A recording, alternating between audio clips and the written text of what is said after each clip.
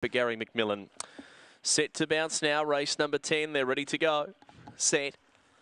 And away, Be Charming jump well out and dreaming out fast. Be Charming's trying to drive up, does so, holds out out and dreaming, who now makes a second bid for the lead and gets it this time. Out and dreaming, two lengths Be Charming to third Naughty Neville. Then Ramina Charm, well back Moon Dragon, Nana Jan and Aussie's Risk at the end. Out and dreaming the leader. Kicked a length in front to Be Charming and this week Out and Dreaming gets it done. Out and Dreaming by a length and a half, too good for Be Charming. Third Naughty Neville, a long break back to fourth Ramina Charm.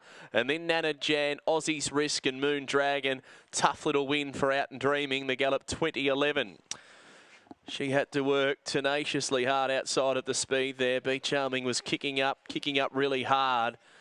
May would have even taken the uh, the lead away from Out and Dreaming, who then had one more shot to try and cross and lead. That was a successful bid for victory. And after taking over, Out and Dreaming has sprinted clear to win. Fernando Bale, go Lassie, go. Nicole Lund at Longwarry. Beats one, Be Charming. Gary